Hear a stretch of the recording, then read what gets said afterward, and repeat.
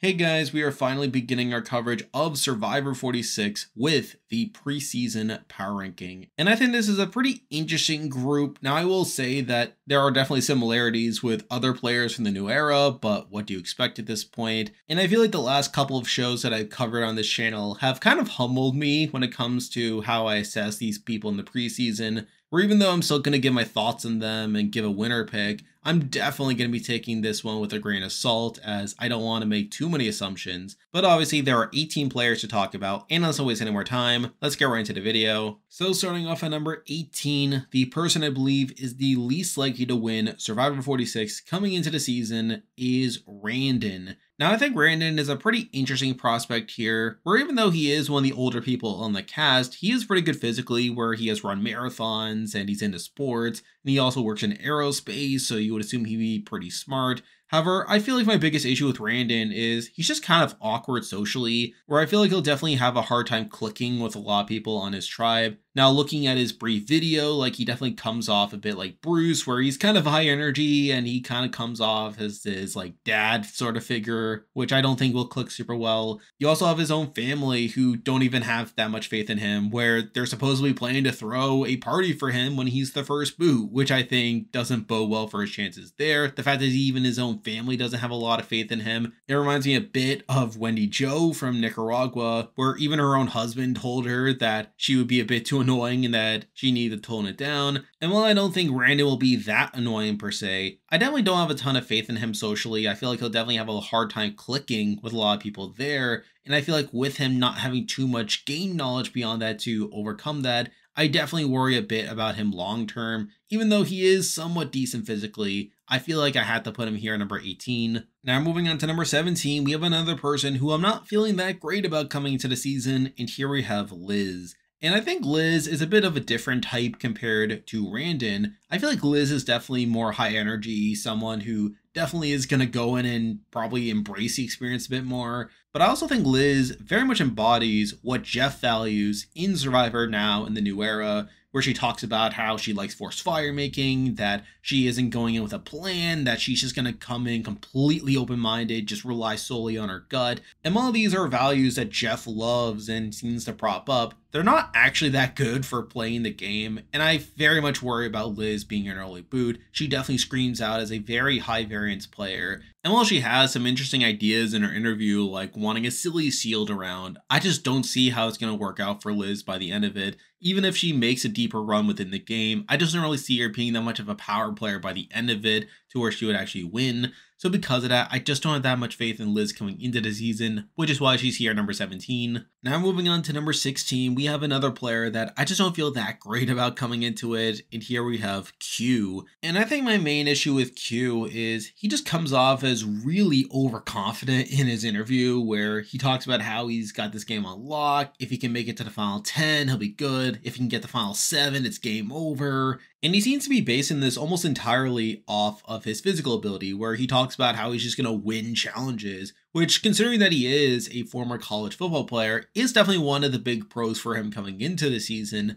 But when we look at like his approach to the game, I feel like he has a number of pretty questionable views where he talks about wanting to get his original tribe down the final four, how he wants to target people that throw challenges because he's not for that, he also admits that he doesn't understand why Yam Yam won 44. And these things just make me feel like he doesn't understand the game as well as he thinks he does. And in general, he'll be in over his head, where he'll probably try to be the leader of his tribe early on, but maybe be undermined to that end. So those are things that are really holding me back from putting him higher on the list. The main reason I don't have him lower is, again, I feel like his physical ability will help him out a lot. You would assume on paper that he'd be able to get through a lot of the early game based off his physical ability, and I feel like there would definitely be people wanting to use him as a shield. So I feel like I have more faith in him to get deeper into the game compared to Randen or Liz, but I feel like he'll have such a difficult road in getting to the end based off his approach to the game, but also based off just him being a big threat to where I have him here at number 16. Now moving on to number 15, and we're moving on to a pretty good string of players that I would consider to be high variant. These are players who I could very easily see being early boots, but also people who I could see doing well and cracking through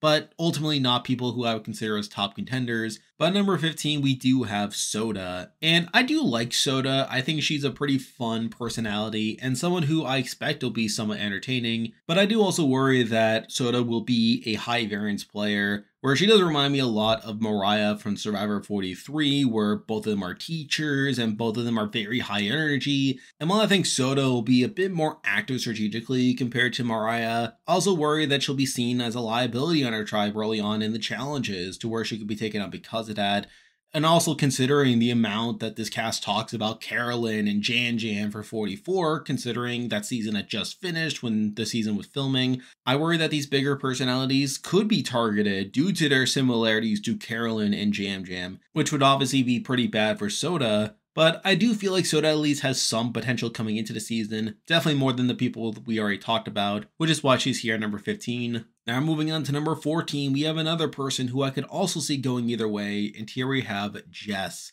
And again, Jess is another pretty zany personality. She's kind of silly and all over the place, and she is very much someone who I see as being high variance. And I feel like on a season like this, where people will have Carolina Jan top of mind, I feel like that could be a liability. But I will say the main thing that I have with Jess over Soda is I think she's a bit better physically, where she does talk about cycling and she does seem to be in better shape physically, to where I could see her being kept around more due to her challenge strength. But again, I feel like with her personality being a pretty high variance one, one that will definitely be on top of people's minds coming into the season, I do have to leave her here at number 14. Now moving on to number 13, we have another person who I can honestly see going either way, and here we have Moriah. And I think Moriah kind of fits into this archetype of this nerdy, kind of quirky woman that we have seen in recent seasons. People like Frannie from 44, even going back to Gabby from David vs. Goliath, which to be fair those type of people tend to do well longevity wise they tend to make the merge more often than not but they also tend to cap out around the mid merge section and i feel like moriah could very well fall into that category where she tends to peak at the final eight or so before being sniped out then and even then there is some worry early on that she could be sniped out if she's not pulling her weight in challenges or if she just doesn't click well with the rest of the group so I definitely think there's a lot to be worried about with Moriah, where while she could very well make the merge, I feel like there's not a ton of upside beyond that, which is why she is here at number 13. Now moving on to number 12, and we have two players in a row that I kind of view similarly, and it was just a matter of ordering them. But number 12, I did decide to go with Charlie, and I think Charlie is a pretty interesting prospect here in the sense that he reminds me a lot of Spencer Bledsoe, where he even compares himself to Spencer in his bio,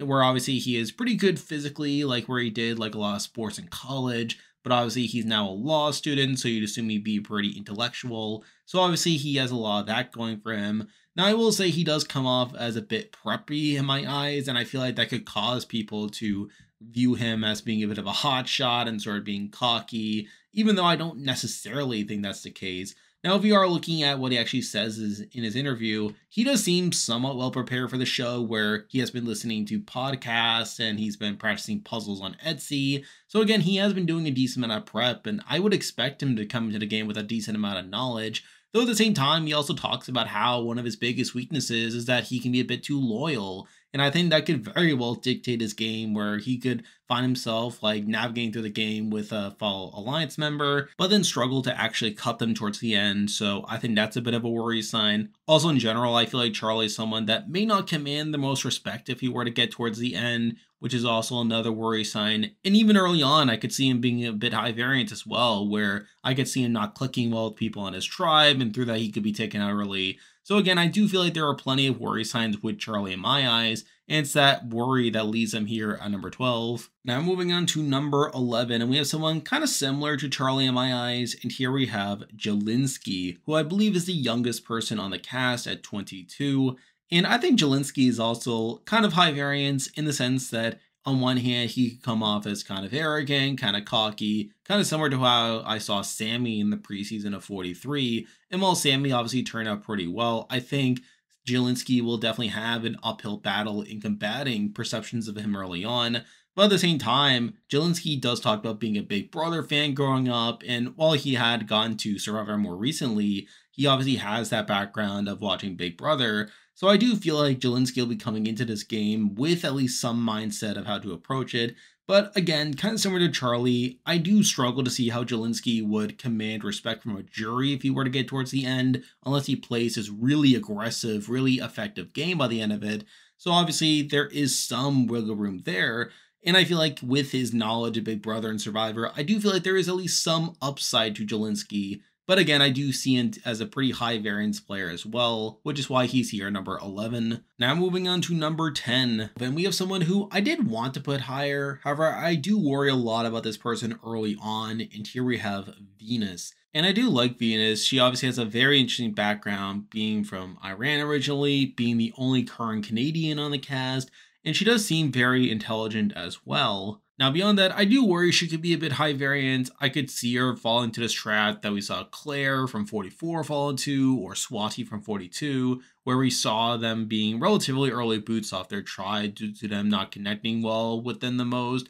And while I don't think she's necessarily cold per se, where she even missed being a bit of a crybaby, I do worry that perception could precede her coming into the season. So I think it'll be interesting to see how she navigates through the tribe because of that. But again, I do feel like Venus definitely has plenty of upside. But at the same time, I do worry that she could be a relatively early boot due to how we've seen people in her archetype play in the past, which is why she's here at number 10. Now moving on to number 9, we have someone who admittedly is also high variance, but I have a little more faith in them to get their better case scenario, and here we have Maria who I believe is the oldest person on the cast at 48. And while that may come off as a bad thing, especially considering how she's now a parent coach, I do feel like she has a lot of life experience where she talks about doing a lot of crazy things when she was younger. She also was a salsa dancer in her youth and she even runs marathons. So she's actually surprisingly in good shape for her age. And I feel like with her like coming off pretty energetic in her interviews, I do feel like there is a strong chance that she gets her better case scenario and is less like Mariah from 42 and more like the Heidi's from 44 or Tiffany's from 41. And I feel like she could definitely integrate well within our tribe. Now, at the end of the day, I still think she has a lot of that worry that some of those players have towards the end game, where it's a question of how well she can actually navigate through the game while still having respect from a jury, and whether she can truly play a cut through style game while still having that respect by the end of it. But I think on the face of it, Maria's someone who I'm actually feeling kind of okay about coming into the season, which is why I have her here at number nine. Now moving on to number eight, and we have someone who I definitely like a lot, and I think they'll definitely endear themselves a lot to their cast. Though I do also question how much of a true contender they are, and here we have Bhanu.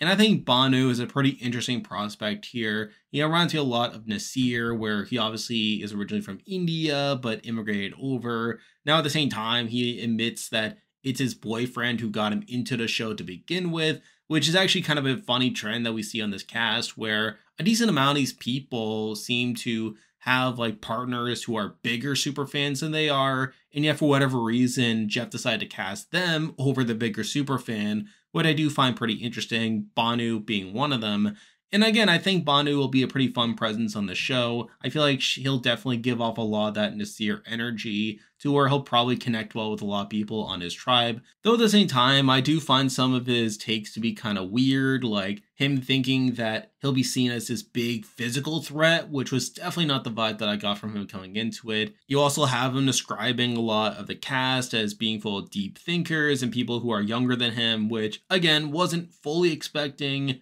though at the same time he is one of the older people in the cast. But I think probably the biggest red flag in his interview was him admitting that he can't lie, which I think will definitely be a big factor that'll work against him later down the road. So in a lot of ways, I think he definitely has a lot of the upside of Naseer, but he also has a lot of the downside that comes with Naseer as well, to where I could see him like not getting towards the very, very end, but he's still someone who seems likable enough to where I have him here at number eight. Now moving on to number seven, and we have someone who I also like a lot, but I feel like there are a couple things holding me back from having them higher. But number seven, we do have Jem. And I think Jem is a pretty interesting prospect here. I feel like in a lot of ways she comes off as a pretty well-rounded player, being pretty good physically, pretty good socially, pretty good strategically. And she also has a pretty interesting backstory where she is an immigrant from Guyana, which again is pretty good representation there. So in a lot of ways, there's a lot to like with Jem on paper. Now I will say the biggest red flag with her coming into it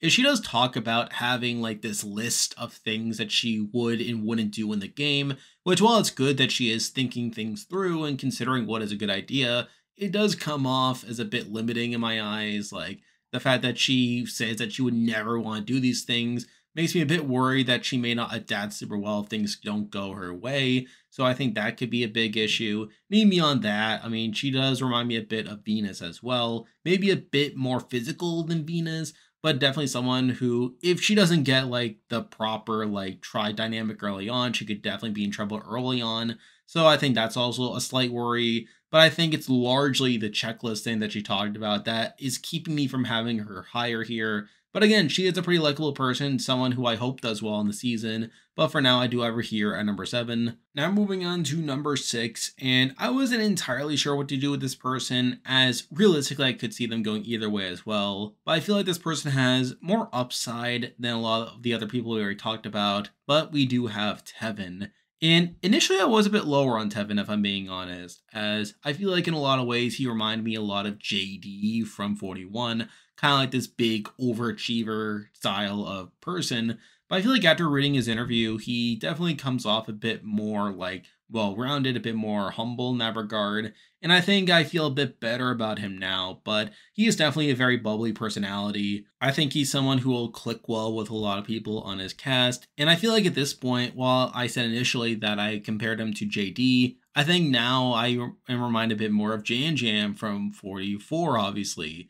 And I think he has a lot of potential to fill those shoes, though at the same time, considering that, as I said earlier, people have Yam Yam on the top of their minds, I do think that could work to Tevin's detriment, where he could be seen as this big bubbly person that has to be taken out right away. Though at the same time, he also has a pretty good starting tribe where he actually is on the tribe with a lot of the more high variance players as well. People like Soda, people like Randen, which I think could help him out early on to that end as well. So again, I think there's a lot to like about Tevin coming into this, but there's also plenty of warning signs as well that may not bode well for him coming into it, which is why I do have to leave him here at number six. Now moving on to number five, and kind of similar to Tevin, I did debate whether this person was too high, but I feel like this person has a lot of the pros that I mentioned with Tevin, and here we have Ben. And again, I think Ben's a pretty interesting prospect here. Now, obviously, the biggest similarity that you can point to here is with Cody from 43. And I think Ben is very much trying to embody that, where obviously he is coming off as a pretty laid back sort of guy, someone who is definitely going to be underestimated. And while I mentioned with Tevin that this similarity could work against him due to Tevin's similarity to, to Yam Yam, I think Ben's similarity to Cody could actually work out to his benefit, where even though Cody did do pretty well in 43, I think people kind of see him as the lesser player compared to Jesse from that season, and I think even we even see that now in the preseason assessments where people are describing him as looking like Abraham Lincoln, and we even had Jelinsky describing him as being pretty malleable. Obviously, Cody is someone who is seen as like this overly loyal type of guy, someone that Jesse was able to blindside by the end of it. And I think with that similarity there, I think that could lead to Ben being underestimated while still having a lot of the upside that Cody had. So I think that'll definitely play to Ben's benefit, and a big reason why I have him as high as he is. But again, I feel like the top four are probably more conventional contenders in my eyes, people who I just feel better about coming into the season, which is why I have him here at number five. Now moving on to number four, and I kind of can't believe this person is this high, but considering the rest of the contenders, I did decide to go with Tim Spicer here at number four.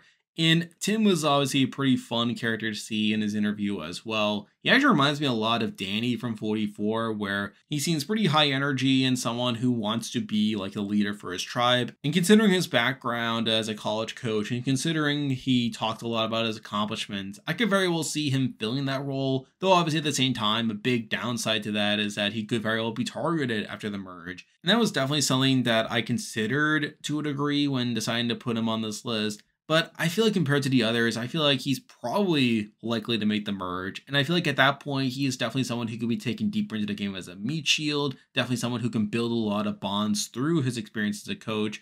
And he is definitely someone who seems pretty well equipped to get through the early game, which is a big reason I have him here at number four. Now moving on to number three, and I very much debated these top three as I feel like they each have different pros and cons going for them. But number three, I did decide to go with Tiffany And I actually really like Tiffany. I found her to be a lot of fun in her interview.